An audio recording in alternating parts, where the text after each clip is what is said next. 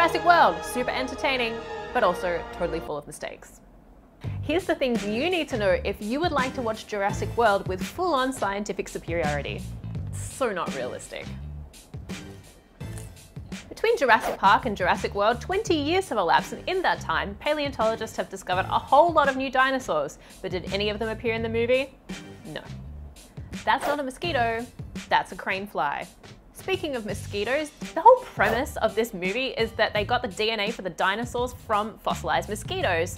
But how did mosquitoes manage to bite these sea creatures that lived their whole lives underwater? Some dinosaurs have feathers, but not in Jurassic World. That would be visually inconsistent. Pterosaurs have bones like tissue paper. They would not be strong enough to lift a human. You could actually crush one if you really wanted to. This guy actually has the feet correct. Well done. As you can see from this highly accurate scientific model, most dinosaurs have flat feet, but in the movie, most dinosaurs have raptor feet like an eagle. Wrong. Most dinosaurs eat with their mouths, not like modern raptors do, where they like rip food from their claws. Jurassic World ruined T-Rex for everyone. T-Rex's hands go not like this, but like this. T-Rex is a clapper, not a slapper. Jurassic World had no paleontologist in it. It had geneticists, it had a velociraptor trainer, but no actual paleontologist, probably why the whole thing went awry. Chris Pratt should have been shirtless more, but also he's a velociraptor trainer, and like crocodiles, velociraptors would not have been domesticated and therefore would have been untrainable.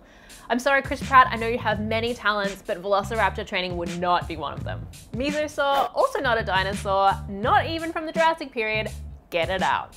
Cursor, sudden but inevitable betrayal. And I'm not even gonna talk about the fact that the DNA would have already degraded by now. So the whole premise of Jurassic World is flawed. So this weekend, if you're going to a movie because you want to see a hot man, then try Jurassic World. But if you want to go and see a movie that's accurate, Jurassic World is not for you. Hi everyone, I'm Jayde Lovell, resident science nerd on the Young Turks Network. You're watching SciQ and we know you don't want to miss an episode, so please click the subscribe button down below.